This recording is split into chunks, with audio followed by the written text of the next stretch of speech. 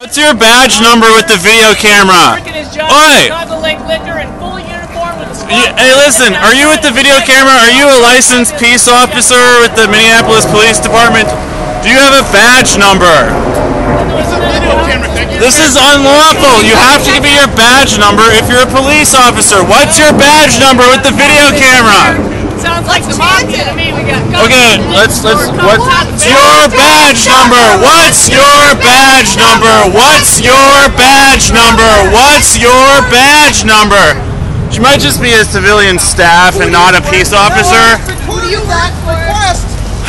But I mean that's like unlawful to like who's who's the Standing on the boulevard. who's like the incident who's the incident commander here? Who's like the highest ranking officer? They they don't ever answer that question anymore, Dan. I tried that one. Where's Myron? Let's get Myron out here. Come on, we need we need okay, listen. What is she a police officer? We need her badge number. Is she a police officer? We need her badge number. If she's a if she's a private security, then like what's that arrangement? If she's a civilian employee of the department, you're like legally obliged to tell me that situation because I'm paying for it. So is she a police officer or a licensed peace officer or a civilian employee or a private actor? Like I need to know exactly the details. I'm Lieutenant Taylor. I'm the incident commander. Okay. You have my obviously you have my name from the business card. All right, seven one four six. Thank Okay. you. Yep. You have the information you need. Okay. So, can you tell me who that person is, and are they a licensed peace officer? And if they are, what their badge number is? It's an employee of the city of Minneapolis because I've asked them to. Okay. So, what do they work for the crime lab?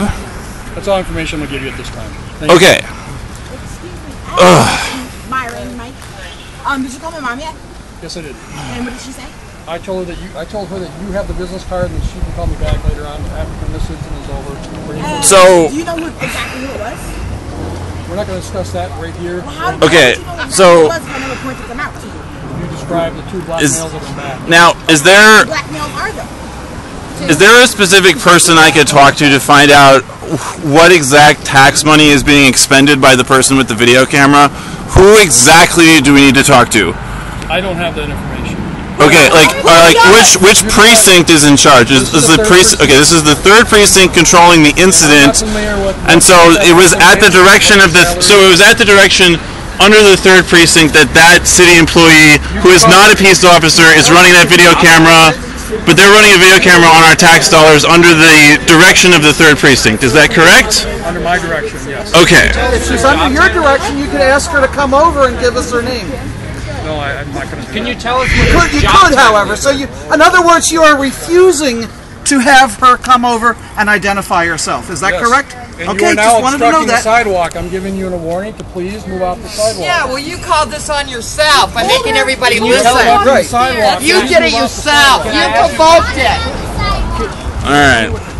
Your tax dollars at work in an inaccountable fashion.